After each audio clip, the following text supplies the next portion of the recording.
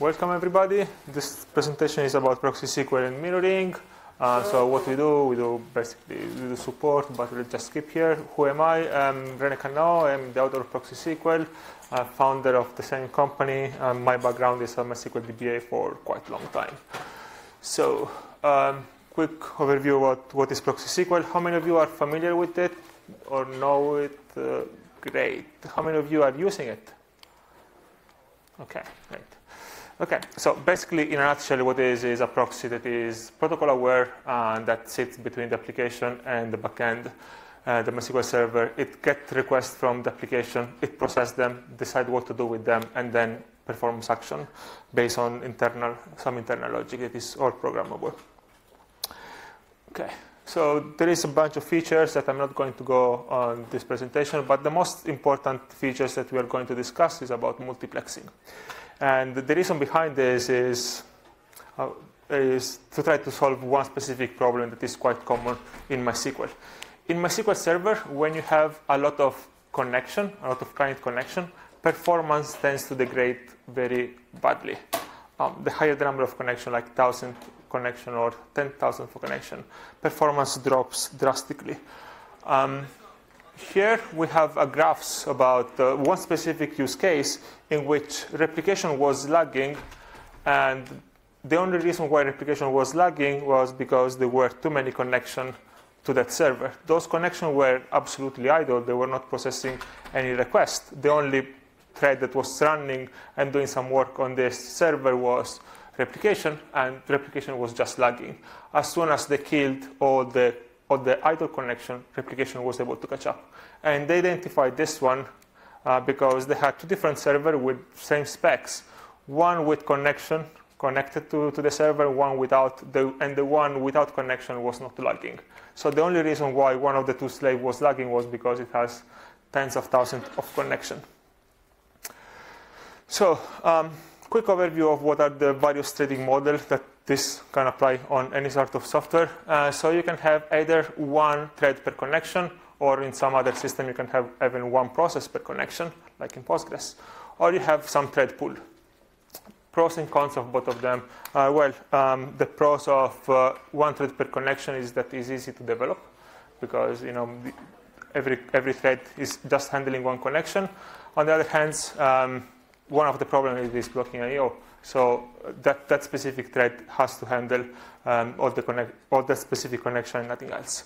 On the other hand, if you are using thread pool, it is way more difficult to implement because you have one single thread that has to manage multiple connection, but at the same time it's way more scalable because you don't have so many connection. Sorry, you don't have so many threads.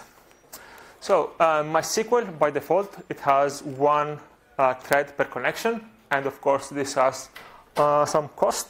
Uh, the cost, again, is not specific to MySQL, but any application that use this model of having one thread per connection. Um, basically, in short, you have a lot uh, of software thread, while the number of physical thread that are in the CPU are way less. So you have a lot of context switch because the CPU every time has to switch from one software thread to another one. The number of registry it has to do all the context switching, and um, you know you have mutex and contention between all those threads.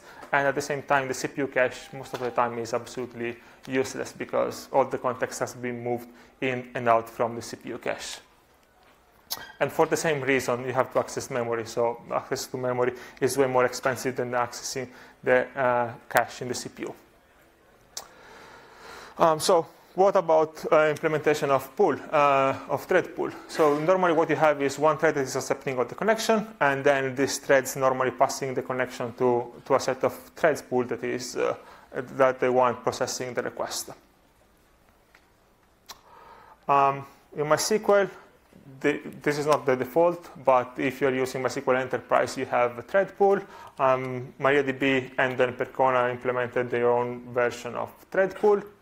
The way it works is that um, all the new connections are being accepted by one listener, and then this listener is passing the connection to a thread pool, and that specific thread pool is the one that is going to handle the connection until the connection disconnect. And of course, because of using of the use of the thread pool, performance gets a lot better if you're using this.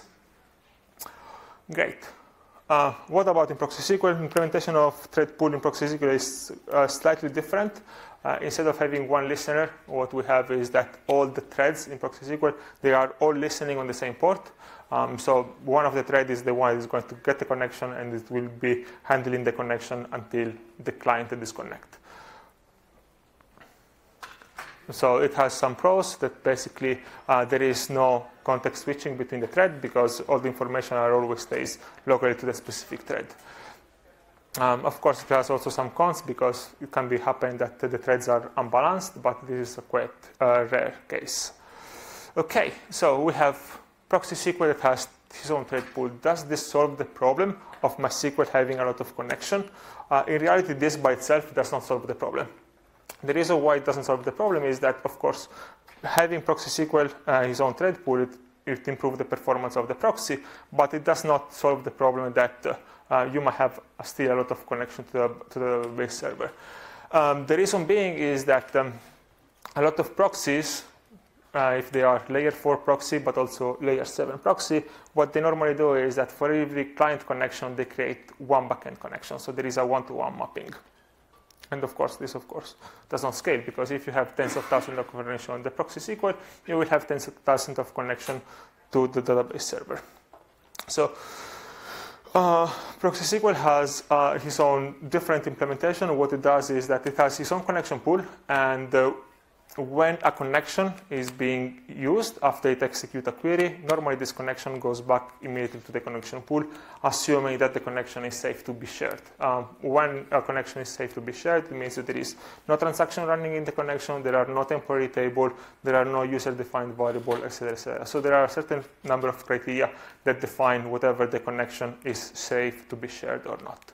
And if it is safe, just be, go back to, to the connection pool. So the next client request can be, you, can be executed in that specific client connection. And uh, well, so basically what we can have is that we can have thousands of uh, front-end connection that go funneled into very few back-end connection.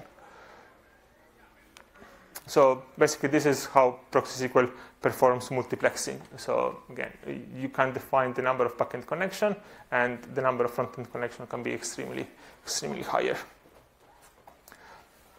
Um, of course, there are certain criteria that automatically disable multiplexing. They are listed here. Like for example, if there is an active transaction, the connection cannot be shared until the transaction is completed or if you, for example, if there is some table lock. So if you have executed a lock table or flush table with read lock and that specific connection, that connection cannot be shared again until unlock table is executed. Uh, same thing happened with get lock. If you execute get lock, that connection cannot be shared anymore. Surprisingly, there are still a lot of applications that use it. Um, other criteria for disabling binlog is that if you execute set SQL log, um, SQL log bin equal to zero, after you execute this, of course, that connection cannot be shared anymore because uh, otherwise this means that other connection will have binary log disabled. And of course, this is not something that you would desire. And uh, multiplexing is automatically enabled when you issue a set SQL log bin equal 1. So as soon as you enable it, the multiplexing is automatically uh, enabled it. Um, another reason why multiplexing is disabled is when you execute create temporary table or if you use SQL calc found rows or prepare. Um, prepare is the text protocol version of the prepare statement. Other reason, um, there are a lot of session variables that when they are enabled, uh, ProxySQL automatically disable multiplexing. Here I listed some of them, like set unique check uh, or set auto increment increment, uh, foreign key check, and so on. If the client execute one of those, um, multiplexing is automatically disabled. Now, by default, it's also disable multiplexing for every query that has the app that is normally used for user variable or session variable. And um, uh, no matter if you are setting it or if you are reading it. And this, of course, can be problematic if uh, you are using some ORM or some uh, JDBC driver that is actually, it, it wants to read all the session variables, so it performs some select statement in which specify this at. And so for those specific query, you are also able to create rules that automatically uh, re-enable multiplexing if there are such queries. Okay, questions so far? Good. Okay. Uh, one important thing to remember is that multiplexing does not automatically disable routing. Those are two different concepts. So you can have uh, multiplexing to be disabled on a specific connection, but still you can say you can have the client that send traffic into multiple connections. So one connection to the writer and one connection to the reader, or if you have sharding, um, you can have uh, one connection to one shard and another connection to another shard, and traffic is being load balanced based on certain criteria. Now, let's show some example of how it actually proxy SQL uh, help with uh, uh, improving performance using multiplexing. And what will follow is some example of performance improvement that we got at Shopify um, that they are using uh, uh, proxy SQL on all their infrastructure. So uh, those are initial testing they were doing. Uh, so basically, those are benchmark. They were running the same traffic uh, directly on MySQL and through proxy SQL. So you can easily see the difference. I don't know if you can see the numbers, but here we are close to 15,000, while here we are barely around 700. So the number of connection was 5% of the original. So they drastically reduced the number of connection. And during the same uh, benchmark, they noticed um, that basically the number of thread running, uh, this with MySQL and this with Proxy SQL. So thread running with, uh, with MySQL was spiking up to, to 100, while when they were doing, when they were using Proxy SQL, the number of thread running was spiking up to 25. This was the maximum. Uh, thread inside InnoDB, uh, before they had 80, while with Proxy SQL they have some few spike to 15. And more interesting is that the queue, uh, the thread in the InnoDB queue with uh, straight connecting to MySQL was again spiked to 100, while with Proxy SQL was flat to zero. Next. Uh, so those are other graph, graphs of uh, some benchmark. Um, let's start from down actually. So here MySQL traffic, here traffic passing through Proxy SQL. The number of QPS is the same. Actually, with Proxy SQL is slightly higher. So in Proxy SQL, they were having more throughput. And uh, the number of uh, the execution query time of the query before was around 25,000, while when they passed to Proxy SQL was 6,000. So the execution time of the query uh, was less when passing through Proxy SQL. Um, Proxy SQL was not filtering any traffic, was not caching anything. It was just ordering the execution of the query before, before sending them to the server. So it was basically reducing the number of connection to the server. Um, it also, the response time was drastically reduced. Here before the response time was averaging at around 1000. I think this would be millisecond. And when they switched to Proxy SQL, uh, it was around 0.3 or 0.4. So huge performance improvement. Again, uh, those are the graphs. Those are, this is actually production, production traffic. Um, so before, when they're connected to MySQL, and when they switch to Proxy SQL. So it passed from around 15,000 connection to, I don't know, probably they had 300 or something like this.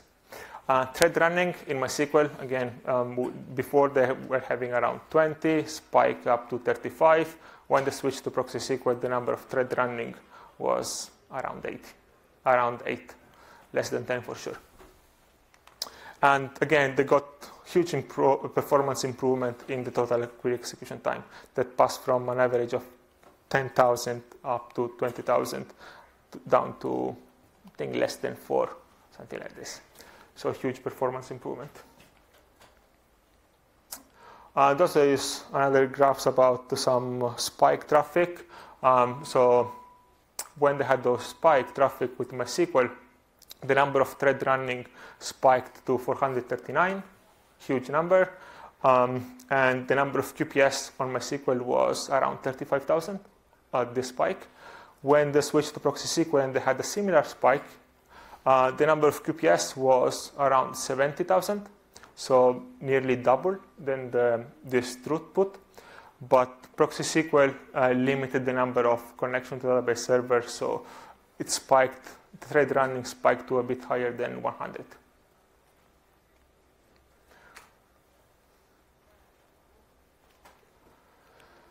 Okay. Um, one of the misconceptions uh, that uh, people uh, normally do when configuring ProxySQL is that uh, they, they configure the number of backend connections to be as high as the number of client connections. So if, the if they expect the client to open 1,000 connection, they configure that ProxySQL to open up to 1,000 connection to the database server. In reality, this is something that you should not do. If you should always try to configure ProxySQL to open way less connection to the database server. And uh, what happens if all the client execute some query at the same time, and if you have 100 client and you don't have enough uh, backend connection? What happens is that ProxySQL will internally sort the, those query in, based on the um, start time, and um, will basically queue them internally and execute them serialized, so based on the number of connections that are open. And as I was showing in the previous slide, this actually improved performance. And uh, this is even more easy to understand on the next slide. Um, so basically, this was a benchmark done uh, in 2016, so almost three years ago, uh, done by Percona. So this is some read-write workload using MySQL 5.7 and um, Percona Server 5.7 with thread pool and ProxySQL limiting the number of backend connections to 200. At low number of connection, the performance of both uh, MySQL Server and uh, Percona Server were higher than ProxySQL, and that's expected because ProxySQL has, has to analyze all the traffic before executing it. But then as the number of connection increased uh, at around, uh, at around 300 or something like this, no, around 200, the, the, the performance with MySQL Server dropped drastically. The performance with Percona Server uh, dropped as well, uh, but because they had thread pool enabled, didn't drop so much. While instead ProxySQL was tapping the number of connections to the database server to 200, and performance kept stable no matter how many new how many connections were on ProxySQL. So of course, if here we were adding more connection, again, the performance in ProxySQL was going to be quite linear, while MySQL and Percona were somehow dropping.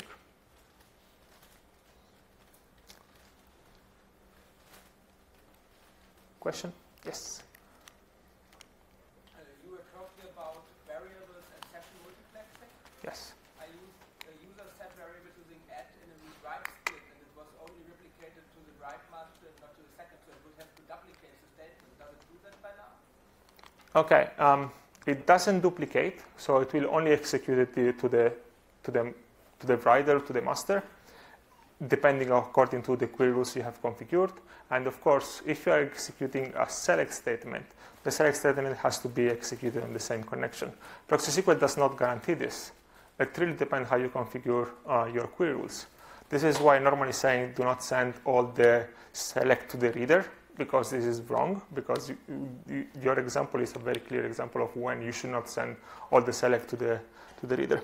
And actually what you said, is, what you ask is uh, basically, I'm highlighting this here, that multiplexing does not disable routing. So you can still have different type of routing. So like the, the write uh, statement goes to the master and the select statement goes to the slave. And if you are sending an add to the master, you should not send the select to the slave because it is, it is wrong. You should send it as well to the master.